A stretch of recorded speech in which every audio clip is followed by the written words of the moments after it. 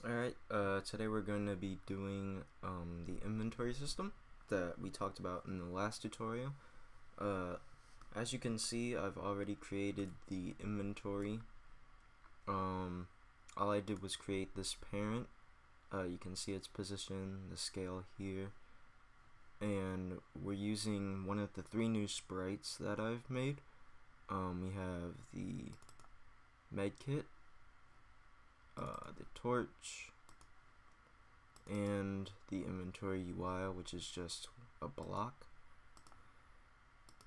Um, and it's used for the background and each slot for the inventory. So you can see that. Then we have some text that I put up there um, for the inventory. And we have these slots. And each slot is basically where the items are going to go once we pick them up in our inventory. We have slot 1, slot 2, all the way down to 9. And it's we have that parented to the player. And we also have inside of our player script. Oh wait, no. So what we have what we want to do in our player script is create a way for us to toggle whether we can see the inventory or not. So we want to do inventory after and then we can in awake we want to do inventory dot or this this dot inventory equals sup dot get actor inventory UI or whatever you guys want to call it. So the reason I actually didn't show me making this was because I actually did a video on that and uh, the audio didn't record right. And I actually think it's better for you guys to do it kind of on your own. That way you guys kind of learn and you guys get your own uh, inventory uh, instead of just having to follow me and do whatever I do. Now we also want to create a new void, which is going to be toggle inventory. And then we're going to do this dot inventory UI dot set visible. Then we're going to do the opposite of this dot inventory UI dot get visible. So we're gonna say it's gonna set the visibility to the objects to the inventory visibility and then we're gonna just toggle it by adding this exclamation point so it's going to so say this were true if we have the exclamation point it will change that to false and vice versa. Little tip. And then what we want right here is if sup dot input dot was key oh input dot was key pressed e. And we can go ahead and do this dot toggle inventory and you guys may also realize that E is the same button that we use to open the chest. Well, I've actually gone and changed that right here. You can just change that to space. And then I changed the text to say press space to open. And that's pretty much all that. I also um, made the map a little bit bigger because when you would go like to the edges of the sand like you could see black and I didn't really like that. So I made the map bigger and that's about it. So if we go ahead and run the game right now.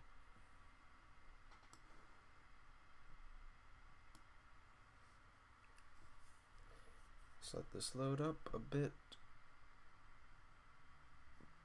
Mm. Alright, now we can hit E to open and close our inventory and when we come over to here we get space to open it or open the chest and that all works just fine. Now we want to actually add um, some items. So let's go ahead and add a torch and a sprite renderer which is going to be the torch and basically what we want to do is whenever we walk or run into oh my gosh that, that was my stomach it like really rumbled. I don't know if you guys heard that but that was kind of weird. But whenever we um, run into an object we want to pick it up. Let's make that 0.5 actually 0.75 just so it's not on the same layer as the chest. And then we also want to give it a new script. Let's go ahead and create a new script and call this item controller. Uh, put it in the scripts folder. And now um, we have a lot to do so first we want to get the position of oh wait no.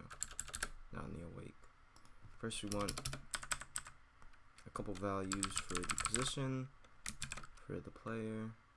Oh wait no the position for the object.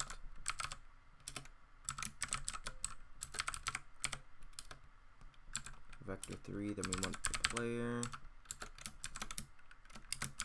which is a sup actor and then we also want a boolean that says actually no we don't need that. And then we need um what else are we going to need? I don't think we're gonna need yeah. and then we're gonna want to get a boolean that says assigned parent. And then this will change whether or not the item has been assigned a slot and then we want a slot number which is just a number and then we want item UI which is Ooh, I forgot to do another step. So I also added this. It's basically the same as the chest UI, but I lowered it down a little bit more. And I want to create a new component. And what it does is it will say like when we pick up an item and stuff. So if we go ahead and do, call this the item UI um, controller. Um, there we go. Item UI controller.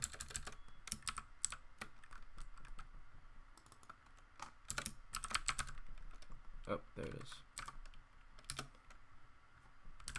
So we're gonna want to get and uh, we're gonna reference this behavior, and then we also want each of our slots. So we want to do one equals sup dot get actor slot one. And this is where it kind of gets tedious. Uh, and we have a lot of the same lines of code. So we're going to copy this as many slots that you have so we have 9, 2, 3, 4, 5, 6, 7, 8, 9. Let's make that two, three, four, And then you guys can go ahead and do this with as many slots that you guys have. 6, 7, 8, 9. We want to change this to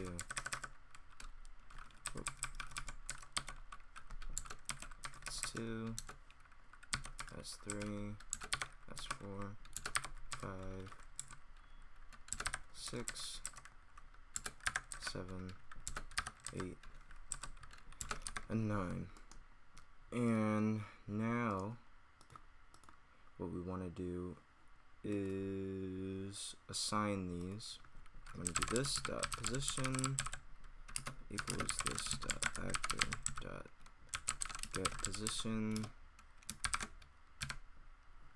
and then we want to get the player equals sup dot get actor uh, player.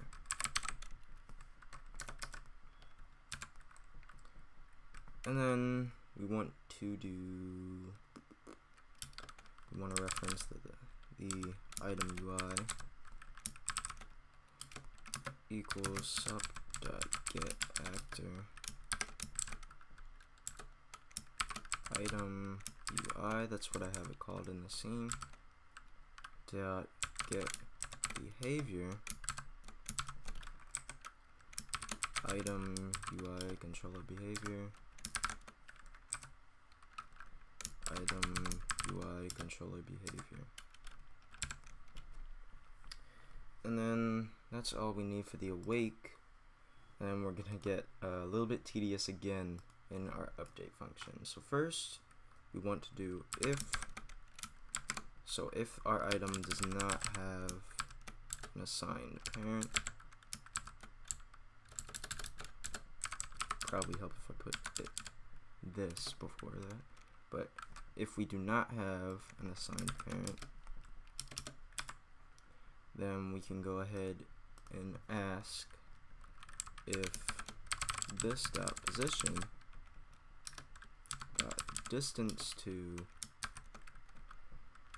this dot player dot get position oh, is less than one then start asking if our slots have children. And basically when we assign the item to the slot we're gonna move the item to that slot in the inventory. We're gonna parent it to the slot and then we're gonna so that it's a child. And then that's how we're gonna see if the slot has this slot is empty. So we're gonna do if this dot one dot get children.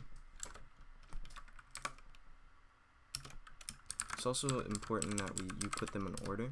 So it's gonna go down the list. So if we pick up one item and our inventory is empty, it's automatically gonna go to slot one, and then slot two, and then slot three, and then if we use the item in slot two, it'll go to slot two. Um yeah, so if the length equals 0,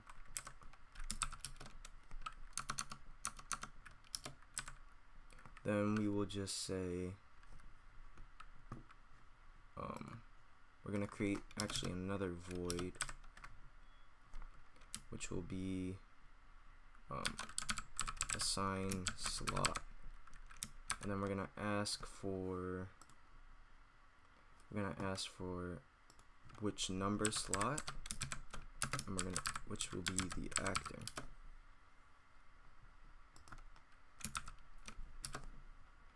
and then we can go ahead and get back to that later. Then we're gonna do this dot assign slot. And we're gonna pass in this dot one. Um and then yeah we're gonna keep on doing this then we're gonna do else if this dot two dot get children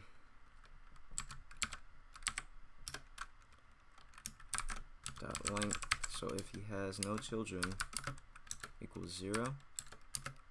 I tried to do it like get child um and then have it be a boolean, but that actually didn't work in Superpowers. It worked in Unity, but not in superpowers. This dot assign slot this dot two. Oh, I need water. Turn.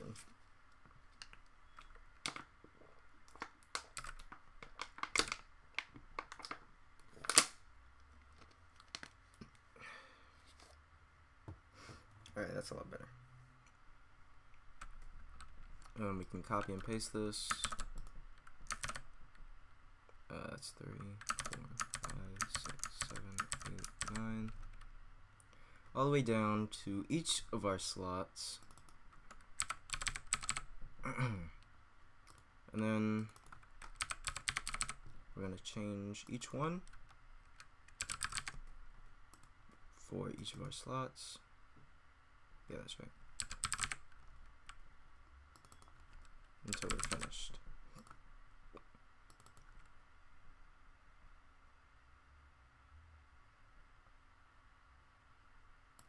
Okay, I'm getting a little bit confused looking at all these. I should have done them one at a time, but oh well. Six.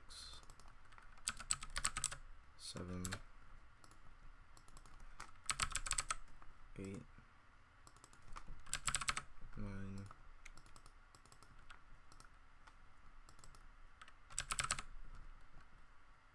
Did I create ten?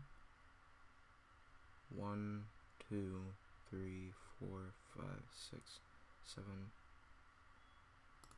I skipped eight. I don't know how I did that.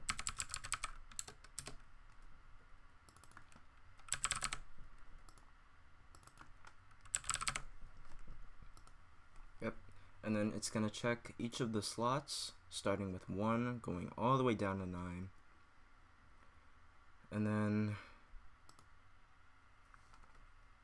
if 9 does not have, or if 9 is also full, so if our entire inventory, each slot is full, then we're just going to do, and we're going to display that in the log, we can just say inventory full,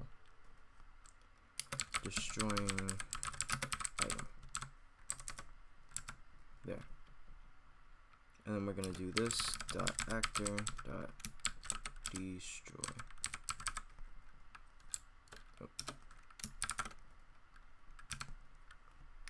And that's that.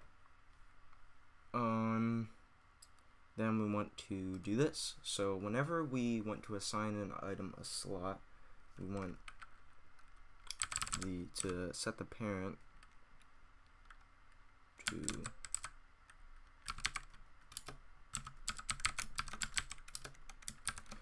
the number variable that we get, or the slot that we get, we're asking for.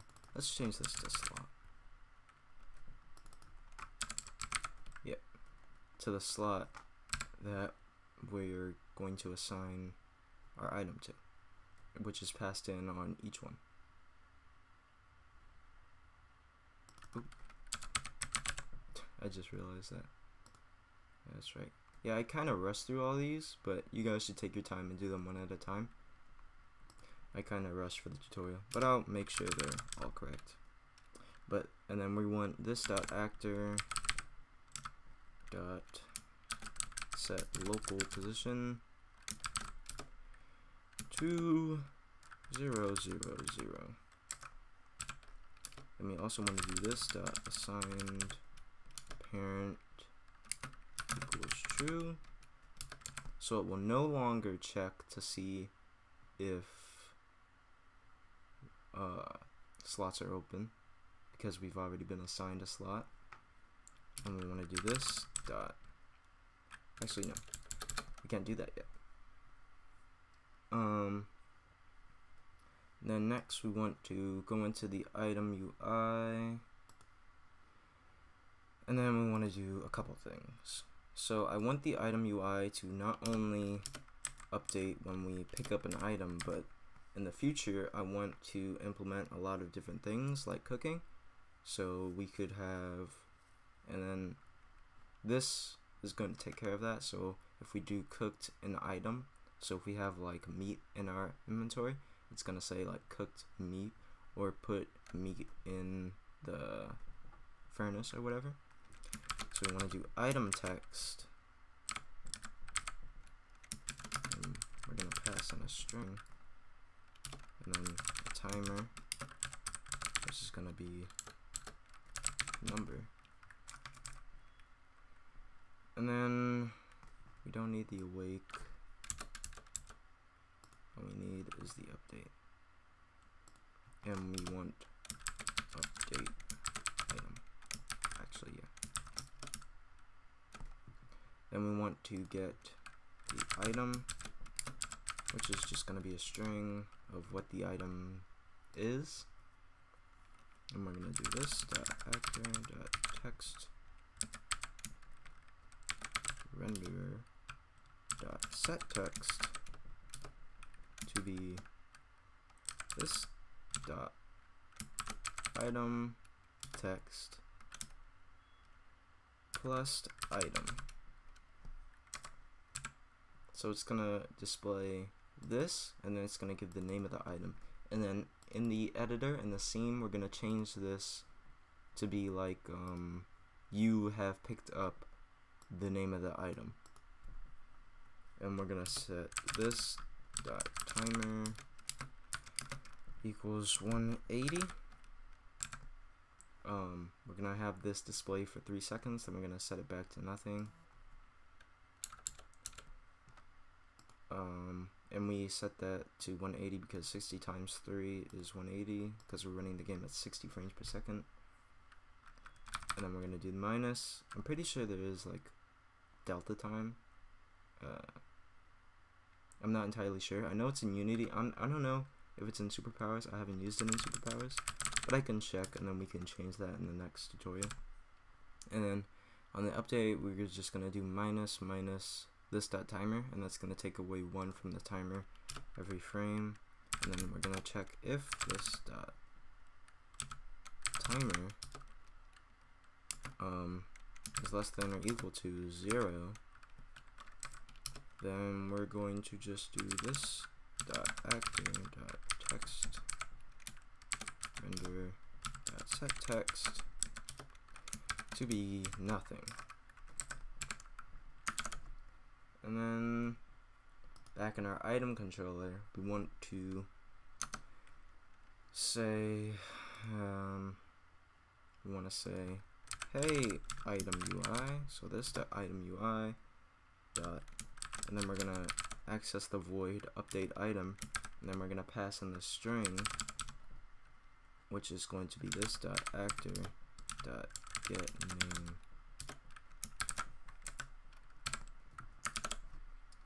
uh, so there we go. Um, now we can go ahead make sure everything's saved. It is. Now we can go ahead and run the game. Ooh wait no. I forgot to do something. Uh, so in our item UI, we're going to set the behavior to that, and then we're gonna say you picked and then we're gonna want to put a space after that, so there's a space between that and the item. Uh, and then let's add a couple of these. Make. I want to make a med kit just to show you guys how it works. Um,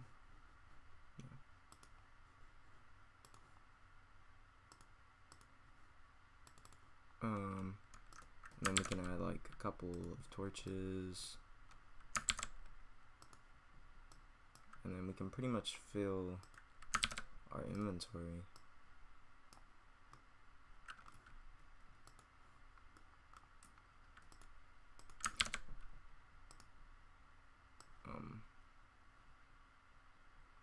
It's like really lagging. I don't know why. Probably because my, my computer kind of sucks. I'm gonna upgrade soon. I hope. Um. Alright, how many items do we have? One, two, or one, two, three, four, five, six, seven. Right, we need two more.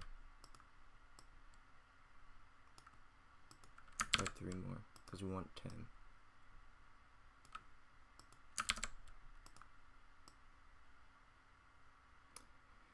Alright, that's good enough. So, when we run the game,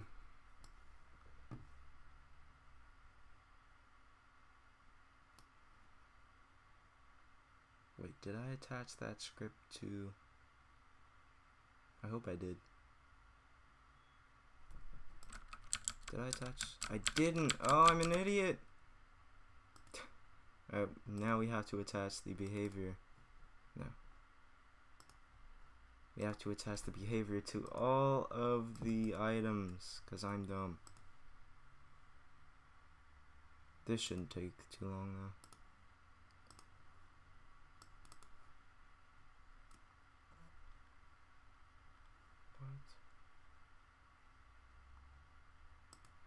My phone's going off. It's really annoying. I hate iPhones. Just the the vibration noise. I know that kind of sounds stupid, but not all phones make the same um, vibration noise. Or at least I can tell the difference.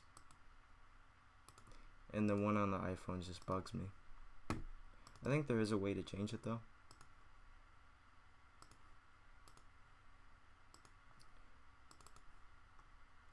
just kind of finding something to ramble about while I give all of these items behaviors. Why does it keep doing that? That's annoying.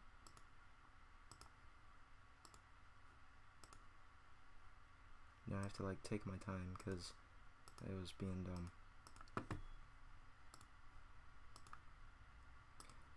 Uh, almost done. Two more.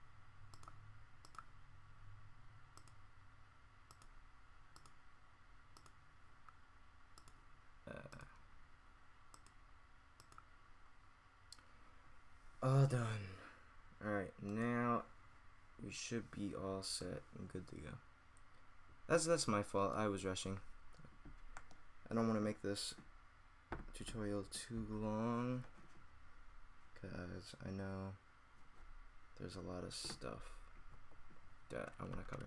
So we can toggle our inventory with E and then it says we picked up a med kit and then we can go ahead and pick up a torch. Pick up another torch. Pick up a med kit. And we can just keep on picking up items. And then once alright so now we have a full inventory. We get the log that says that it's destroyed the item because our inventory is full. And we can open the chest with space. And then there we go. That's our inventory system uh, I hope you guys have enjoyed the tutorial. Uh, for the next tutorial, um, I'm not entirely sure. Uh, comment down below what you guys would like to see next happen in this series. Uh, if you guys are making a 2D game, a uh, 2D survival game, and you want help on what to do next. Um, I think next I might do uh, the chest. I think I might advance the chest a little bit more and then yeah. And then I also want to make the item stat but uh, we can save that for the next tutorial. So yeah guys there is the inventory. Uh, I could also fix the items so that they fit the slots a little